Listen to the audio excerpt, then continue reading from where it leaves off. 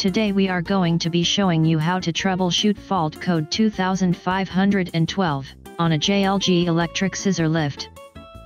The display and JLG analyzer will read 2512 and functions will be prevented except for lift down.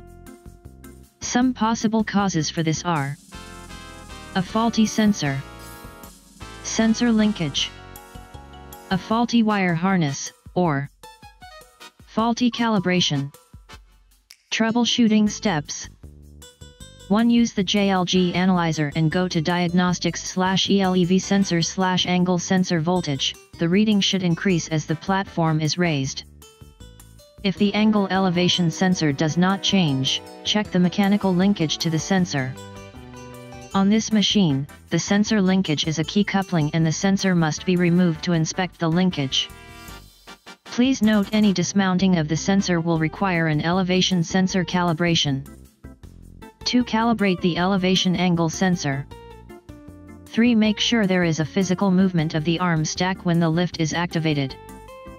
If this is the case make sure there are no other active codes for the lift circuit.